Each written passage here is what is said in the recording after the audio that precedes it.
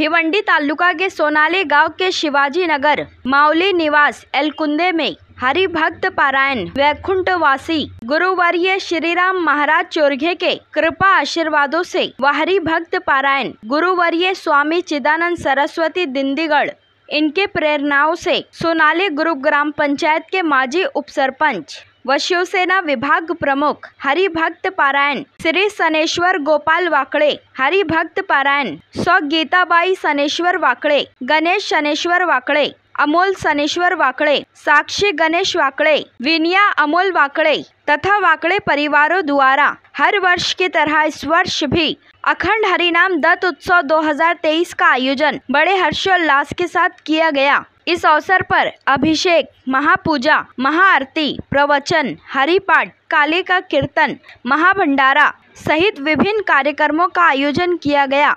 आइए देखें इसकी एक रिपोर्ट। आहे संसारा उठा वेद करा शरणाचा उदारा पांडुरंगा एक वचन आलिया संसारा एक सुख आहे. पाय विठोबाचे निश्चय बोलून ठेवतात. तसाच एक गोड निश्चय परमार्थाचा.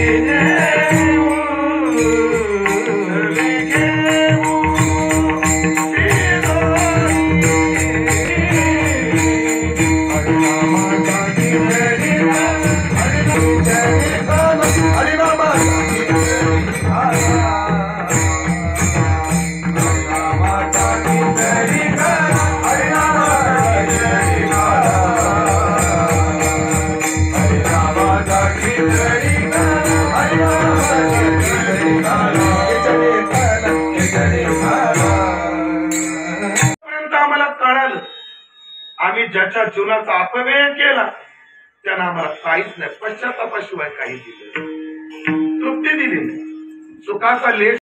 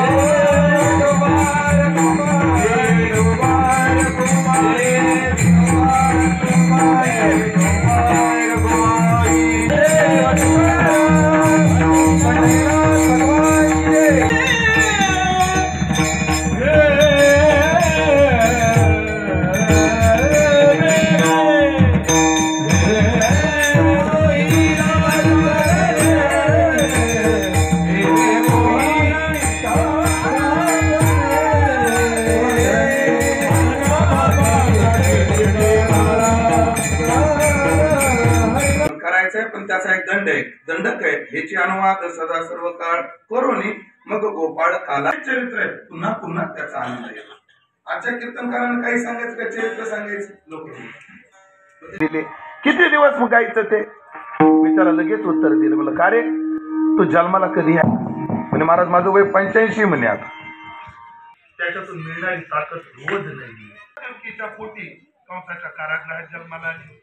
कारागृहात जन्माला आलेले भगवान वसुदेवानं गोकुळामध्ये नेऊन सोडले. आणि गोकुळात जेव्हा भगवंताला नेऊन सोडलं तेव्हा भगवंताचा जना तिचा उद्धार केला. नंतर मामळ भट आला भागवतात मामळ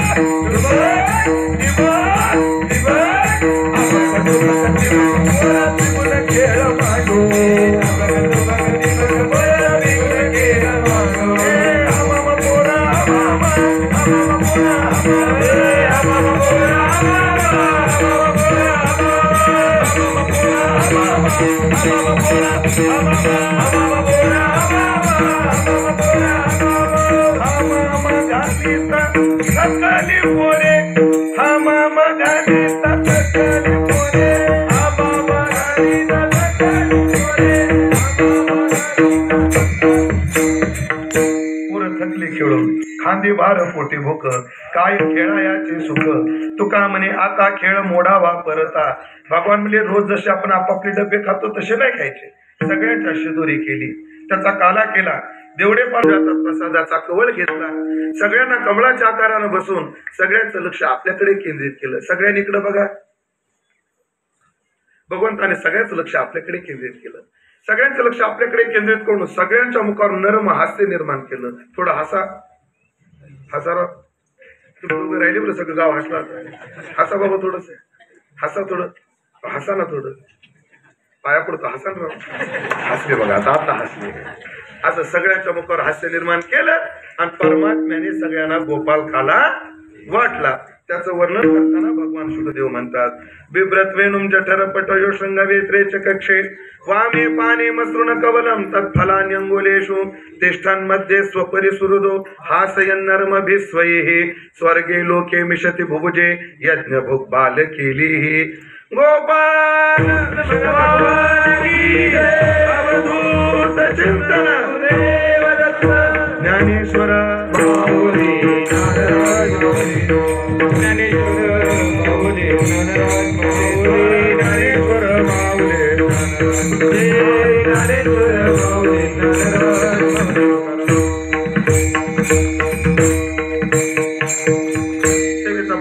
अभंगावर जे काही वेळ वाचलं चिंतन करू शकलो. ते माझ्या वारकरी शिक्षण संस्थेचे गुरुवर्य माझे गुरुवर्य संतवीर बंडाता कराडकर त्यांच्या चरणी समर्पित करतो. सेवेला पूर्णविराम देतो. तो आम्हा सर्वांचे परमार्थ स्नेह हरिभक्ती परायण शनेश्वरजी गोपाळराव वाकडे यांचा परमार्थामध्ये राजकारणामध्ये गावामध्ये एक आगळा वेगळा स्वभावाचा ठसा निर्माण झालेला आहे.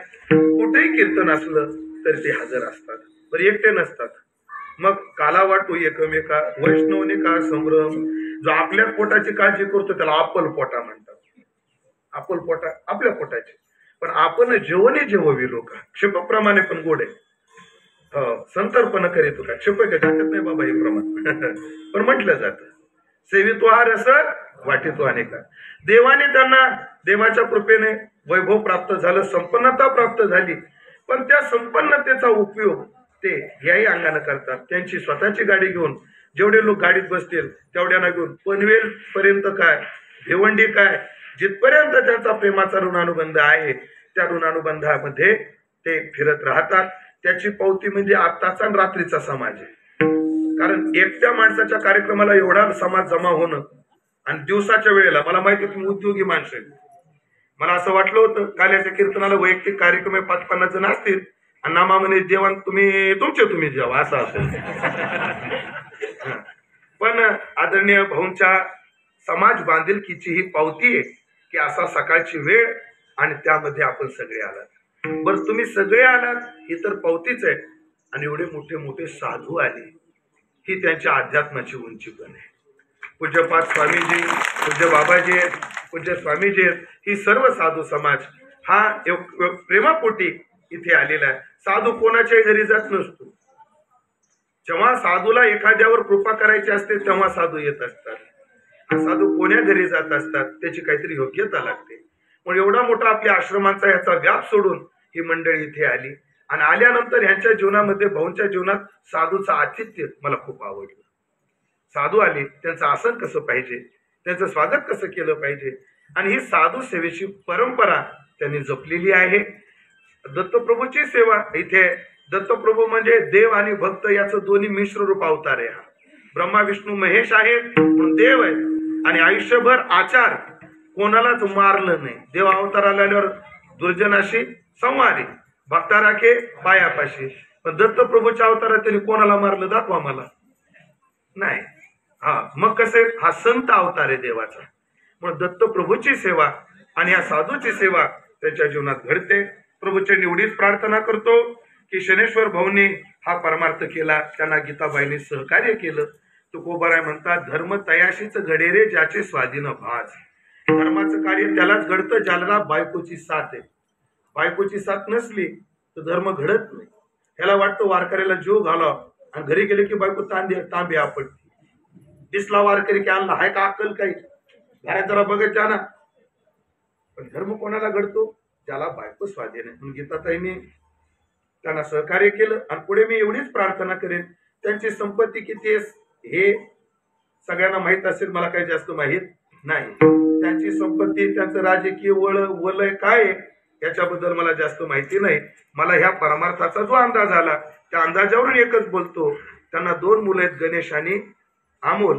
ह्या दोन्ही मुलांना एकच सांगेन माझ्या वडिलांची विरासिगा देवा तुझी चरण सेवा पांडुरंगा वडील तर हे चालवतातच आहेत. पुढं तुम्हालाही दोघाला हेच चालवायचं आहे. म्हणून शनेश्वर भाऊंची आदर्श गणेश आणि घ्यावा. आणि आमच्या गीताताईंचा आदर्श साक्षीने आणि विनयाने घ्यावा. आणि पुढे आपल्या घरामध्ये आलेली ही प्रभू सेवा साधू सेवा त्यांच्याकडून चालत राहावी. संपत्ती येत राहील संपत्ती जात राहील. आणि त्या संपत्ती करता त्यांना काय केलं पाहिजे त्यांनी हे मी कशाला सांगू? त्यांचं त्यांना तो व्यवहाराचं ज्ञान असेल आहे. पण ही अध्यात्माची संपत्ती आहे. ही संपत्ती मात्र टिकवली पाहिजे. भाऊंनी जे वलय आपलं पारमार्थिक या वारकऱ्यांमध्ये निर्माण केलंय ते पुढे गणेश आणि अमोलनं टिकवावं अशी सद्भावना या प्रसंगी करेल.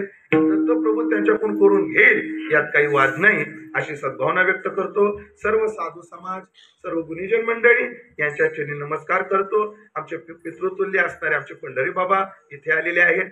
आमचे जनार्दन बाब पाटील मोठे हे हे हे दोघं आहेत ना अजून बरेचसे मंडळी असतील पण आमच्या परिचयातून पाहण्यात हे दोन मंडळी.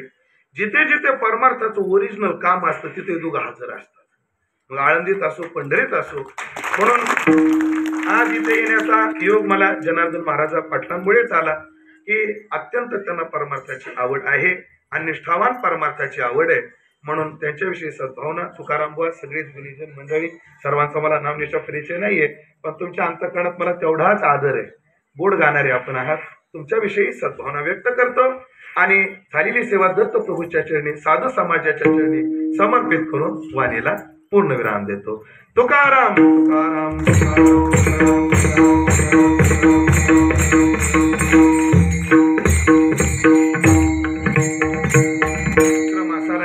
राहील अभंग होईल.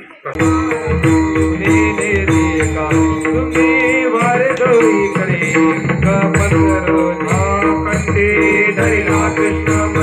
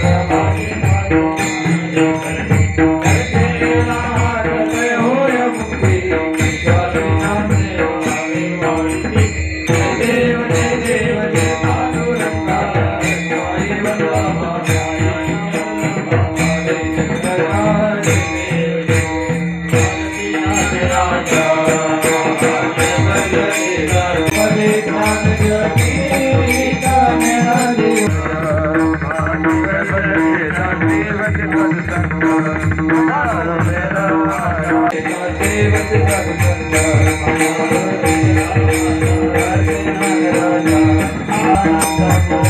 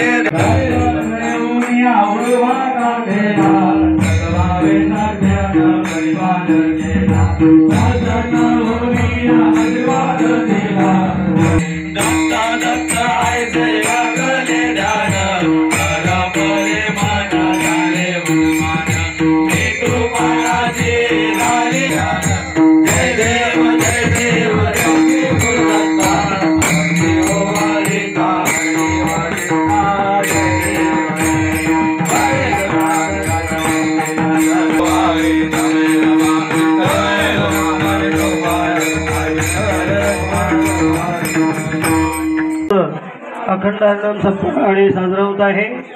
कृपया आपण जास्तीत जास्त आज इथे आपण हरिभक्तपर्यंत शनीश्वर वाकडे साहेब यांच्या या प्रांगणामध्ये किंबहुना त्यांच्या निवासस्थानी दरवर्षी प्रतिवर्षाप्रमाणे दत्तोत्सव साजरा केला जातो. आणि दत्त घराला दत्त घराला या न्यायाप्रमाणे दत्त खरोखर त्यांच्या दत्तच केवळ घराने आला तर सर्व पुरा समाज या पंचक्रोशीतील सर्व वारकरी संप्रदायातील आध्यात्मिक जीवन जगणारे संत महंत सर्वच्या सर्व या कार्यक्रमाची उत्सुकता असते आणि आवर्जून या कार्यक्रमाला उपस्थित देतात. आणि ह्या कार्याचं नियोजन करतानाच आमचे हरिभक्तपरायण शनीश्वर वाकडे साहेबांचं नियोजन फार सुंदर असते. ते सुंदर म्हणजे कोण आला नाही याचं निरीक्षण असते त्यांना. आणि ज्या जे आले नाही त्यांना अगोदर कन्फर्म करतात.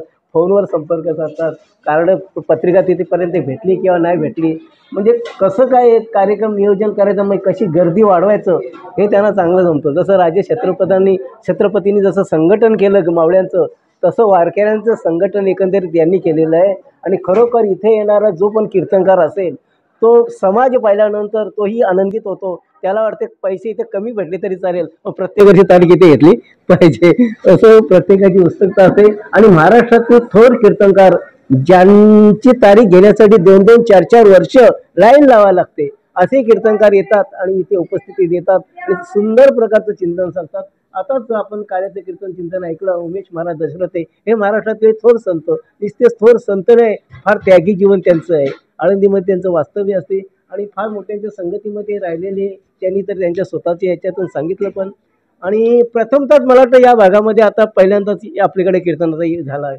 आणि याच्यानंतर तर भरपूरच होतील असो आणि त्याचप्रमाणे नुसते कीर्तनकारण आहे तर इथे या परिसरातील दिग्गज जे परमार्थप्रेमी परमार्थ जीवन ज्यांनी कंठिस्थ केलेले असे महात्मे कीर्तनकार असतील प्रवचनकार असतील मृदंगाचार्य असतील गायनाचार्य असतील ऐकणारे जसं परीक्षितीसारखे सुज्ञ जाणकार मंडळी आणि भीष्माचार्यसारखे तपस्वी लोक या कार्यक्रमात उपस्थित येता होतात आणि सर्वच्या सर्व या कार्यक्रमाची शोभा वाढवतात. जय हिंद जय महाराष्ट्र. साधू संत येते घरा तोच दिवाळी दसरा. आणि आमच्या हातून काहीतरी अन्नदान व्हावं हीच माझी इच्छा. मला काय कुठली हे नाही आहे अपेक्षा आम्ही कोणाचं काय घेत नाही. हा भाऊक होतो म्हणजे कसा समाज पाहून किंवा ही मंडळी मी तर काय देत नाही ऑटोमॅटिक जर इथं प्राधान्य देतात म्हणजे घाऊक होणारच. म्हणजे माझ्यावर असणारं प्रेम किंवा मा माझं त्यांच्यावर असणारं प्रेम हे प्रेमापोटी ती माझ्याकडे येतात. सुंदर कीर्तन झालं आणि जेवढी काही मंडळी होती वारकरी संप्रदायाची किंवा ही त्याने ब- खूप आवडलं कीर्तन सुंदर कीर्तन केलं ते दशरथी महाराजांनी. कौतुक करण्यासारखं आहे ते. त्याच्यात शंभर टक्के आभार मानायला पाहिजे. कारण नुसतं वक्तं पण असून उपयोगाचं नाही ते श्रो श्रोत्यांची गरज असतो. आणि श्रोते नसले तर त्या कार्यक्रमाला मजाच येत नाही. तर त्यांचं मी मनापासून आभार मानतो. आणि हे साधू संतांच्या मुळात मग एकदम हे वाढतो. म्हणजे एकदम कार्यक्रमाला शोभा येतो. पुन्हा एकदा सर्वांचे आभार. बोलून मी मी दोन शब्द संपवतो. जय हिंद जय महाराष्ट्र. தேசமாவே